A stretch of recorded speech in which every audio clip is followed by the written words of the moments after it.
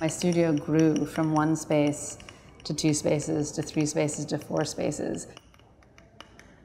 The growth of the studio is like the growth of a traditional Chinese family house where you have like the center, but each as each family comes, it, it exponentially grows out with the exact need for the growth, the generations to come. So similarly, the generations of the work sort of demanded another room. What's interesting about that growth is that in some ways keeping them as separate spaces also was kind of married to the idea that I kind of constantly am doing different mediums and kind of in equal intensity. Each space remains a, a very raw working studio and contains you know, an, an idea or a body of work within it.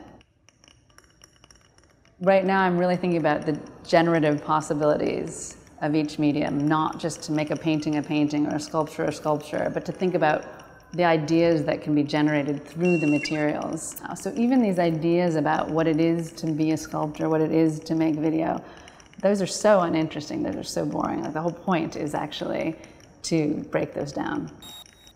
Painting, sculpture, video, photography, printmaking, I've really always done all simultaneously. And those definitions were only interested in, in how you could break them down, how they merged, where they overlapped.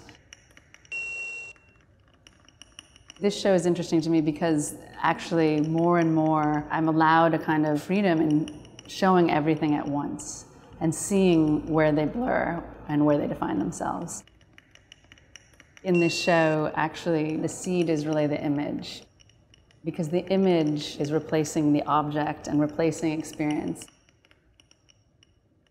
Increasingly, every day, we deal with images as if they were objects. We choose objects as images before we have them materially.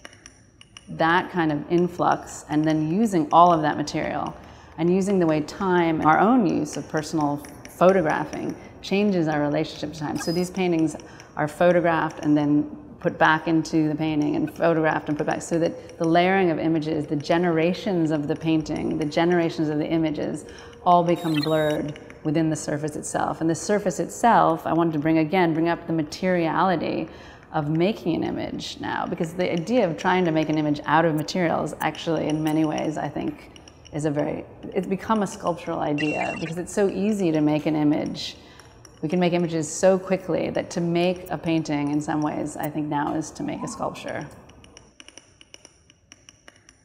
Something that's remained important to me is a kind of intimacy made from working one-on-one -on -one with a work of art.